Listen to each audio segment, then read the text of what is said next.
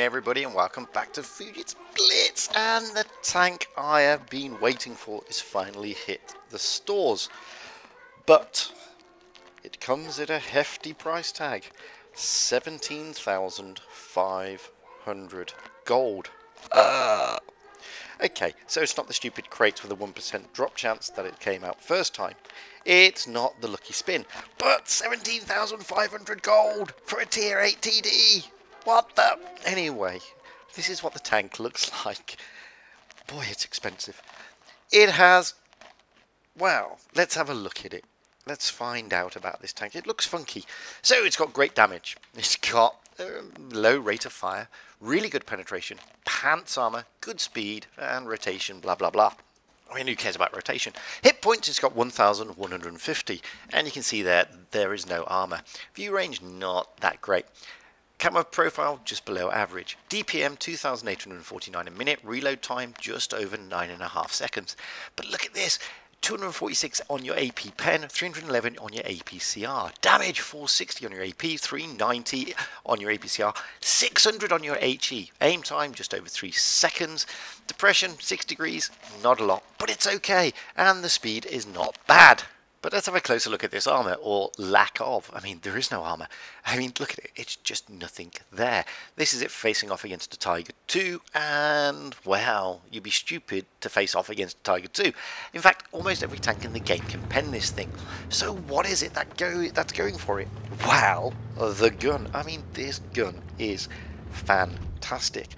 It is super accurate. It is super derpy. And it is on a chassis which is basically like a Panther and it does really get some decent movement out of it. That's what makes this tank. It's the gun. Everything else, pants. Okay, mobility and the gun. Scrub that. Don't even try to frontline this thing because you're just going to come a cropper. It's just an absolute nightmare armor-wise chance of you getting anything bounced is, well, slim to say the least. Although, to be honest with you, I did have a fair few bounces. But the thing that makes this tank is the gun. Okay, the load time may seem a little bit long, but trust me, it's not. I, when I bought this tank, I've been waiting for this tank for ages. Um, to be honest with you, I, I didn't get it in the crates. I didn't get it in the Lucky Spin. I got a Gravedigger and a Tankenstein again. So I've been looking forward to getting this tank because I know it's got a fantastic gun. Aside from that, mm, okay, it's got good mobility. Oh, look at that ammo rack. Who doesn't love an ammo rack on an IS-5? Aside from that, the armor is non-existent, guys. You, know, you need to understand that about this tank. And the thing I keep I have to keep going back to it. It is the gun. The gun is what makes this thing brilliant. And it is brilliant. But is it 17,500 gold? Brilliant. I mean, that is expensive. That is not cheap in any way, shape or form. I would say it's too much. It's too expensive. It's not worth dropping that much gold for this tank. However, this is the first time it's come into the store since the stupid crates and the New Year's Tree event. I don't know when it'll come back. I mean, it's it's taken what almost 10 months since the crates and 7 months since the New Year's Tree event. So I don't know when it will come back. I don't know if it will come back. And I don't know what it will come back for. Thing is, if it does come back, and the likelihood is it will come back, it'll be cheaper than 17,500 gold. Don't get me wrong, you get all the equipment unlocked, and you get an avatar, and you get the Scorpion G camo, and you get all that jazz, but you're still spending 17,500 gold. Okay, you're getting a nice tank. You really are getting a nice tank. I mean, I love this tank. I think that aside from the armor, anything that comes in front of that gun is just going to get wasted. And to that extent, the, the gun alone makes it borderline OP. But this is not a tank for everybody because that armor is just not there. And when you have zero armor and just a fantastic gun, you can get yourself into a world of pain. But I love it. I mean, I love this tank. I have waited a long time for it. I did spend a stupid amount of gold on it because I'm not affiliated with Wargaming and all that jazz. I don't get these tanks for free. I really do have to buy them to, to review them. And it didn't disappoint me, I'll be honest with you. I mean, I've only played, I've played it a fair few times. Um, I didn't get an ace in it, I must admit, but you know, I only got it yesterday and I've only been playing it for a while. Done about 20 games in it. I got close to an ace uh, three or four times, but unfortunately it just didn't materialise. But I must admit, I love this tank. My win rate in it after 30 odd games is 62, 63%. And, you know, it's, it's just a fantastic little tank.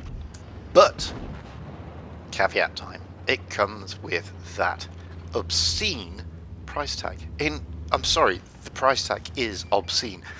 17,500 gold is a lot of gold. I mean, it's a lot of gold. I mean, it effectively works out at what? 45 US dollars, 40 euros, and about 37 pounds because the pound is not doing well at the moment. But it, that's expensive for a tier 8 tank, realistically. Especially when in the store at the moment you've got the Kampfpanzer 70 going for 12,500 gold, and that's a tier 9 tank, or you've got the E25 going for 7,500 gold, which is a tier 7 tank.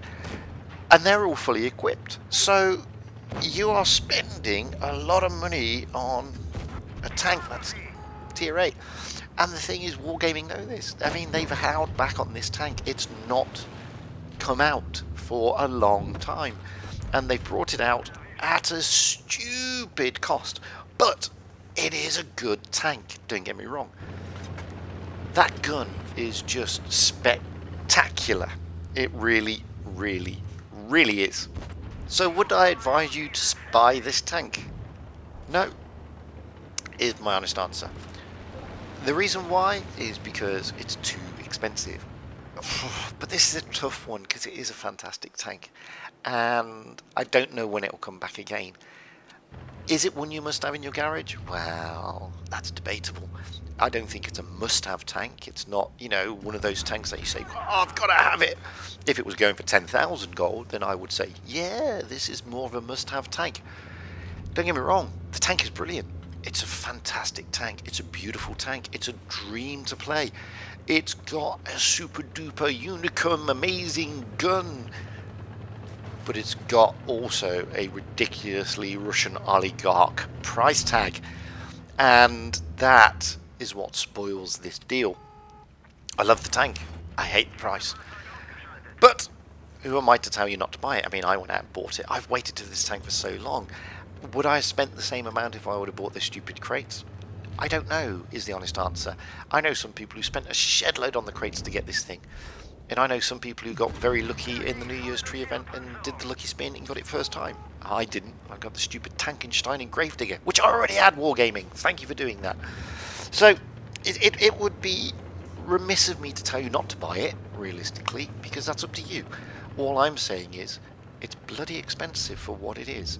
Don't forget, it's just a tier 8 TD. It's a nice tier 8 TD. It's a super fine tier 8 TD. It's a fantastic tier 8 TD. But is it 17,500 gold's worth of super fantastic TD? Is this a game changer? Is this an OP tank? Is this a pay to win? No. It's a great tank. But like all tanks in Blitz, it depends on your skill level as well.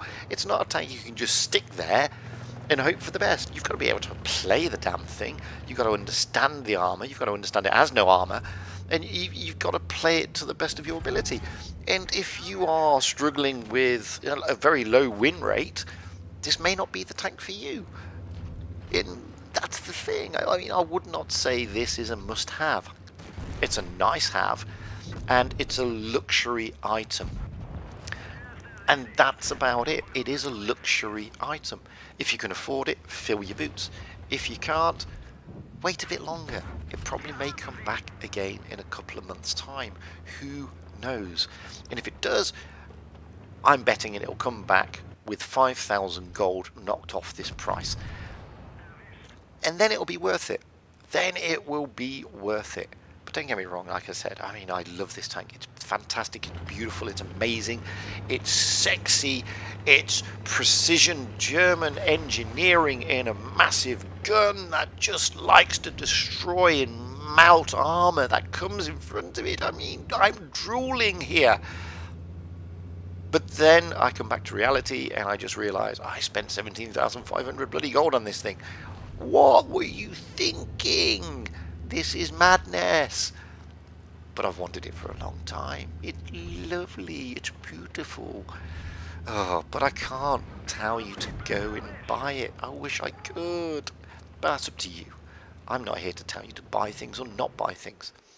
Anyway, best I could do was a second class. Like I said, I did have a few games. I, I mean, I had a game last night where I got to 4,000 damage and got, I think it was a, a second class, but we lost, unfortunately. But it was a great game, but I did camp most of it, which is why I'm not showing you the replay. Now, this is my friend Abyss, who, by the way, has his own YouTube channel, so I suggest you go and check him out. Uh, the link is in the top right hand corner. He's rolling out an Air Scorpion G yesterday. I put it on my Discord. Um, if anybody got any decent reviews or replays going out in the Scorpion G, and he said, "Oh, I, I still haven't got one, but I'll give it a, a roll." He rolled out, and this was, I think, his fourth game. I think he said, and he, he, he came back to me straight away and said, "I just had a fantastic game," and this is a fantastic game, and he's now going to show you how and what this tank can do in the right hands. And it, it, it it's a superb tank. I mean, I've run out of superlatives to say to I mean, look at that. Boom! Straight into the side of that poor sucker. And he's gone. He's out of there. And, and Abyss has already done 1,651 damage. I mean, this is a derp monster. It's, it's a super fly fantastic little premium tier 8 TD with a gun that is punching way above its weight on a chassis that is paper thin. Let's be honest. It ain't a waffle tractor. It ain't a Borsig. It's better than both of those. Um, but it's got the same sort of profile, armor-wise. But the gun is just a dream. It's a dream, I'm telling you it's not 17,500 gold worth a dream, however. I mean, that's more of a bloody nightmare. But Abyss is here rolling out on Vineyards, and already he's up to 2,300 damage. He's only taken one kill, and this is what you can do in this tank. You can rack that damage up in next to no time. And as you can see, I mean, you've got to keep it quite a long way back If you don't, you're gonna get hurt. There's no two ways about it. I mean, this thing will fold quicker than a deck chair in a high wind. That's why I'm saying you need to understand this tank. You can't just buy this and hope for the best. You need some skill to play it. Because that armor is so, so bad. So, so bad. But if it had thicker armor, then you'd have no speed and you'd have no mobility and then you'd all be complaining that it was too slow. And you know that's the thing. I mean look at this. That was a you know the, the, the IS-3 is difficult to pen at the best of times but he's going to roll back up because his reload's better. And boom take a massive roll into the IS-3 and that's a fair trade at the end of the day. Look at this look at this. Brawl with an IS-3 heavy why not? Because my reload's quicker, says Abyss. And it is. Much quicker. Uh, so, he's taken two kills. He's done 2,927 damage. Hello, goodbye. I love that. Poor, poor IS-6. 3,181 damage now. One tank left. And it's that Jag Tiger. I think it's the Jagdtiger. Should be the Jag Tiger that we saw earlier in the game. There's two against one. Abyss in his Scorpion G super duper dirt machine, and some other tank that's got two kills. Abyss has got three kills so far. He's just scraping over 3,000 damage. What can he do? Can he find the tiger? It's there somewhere. There you are. Hello. Goodbye. Wow. 516. Max roll. 4,110 damage in the end. Wow, deserved mastery. Shed load of credits, because this is a credit machine as well. Plus, don't forget, he had the times three. Destroys four tanks. What a fantastic game.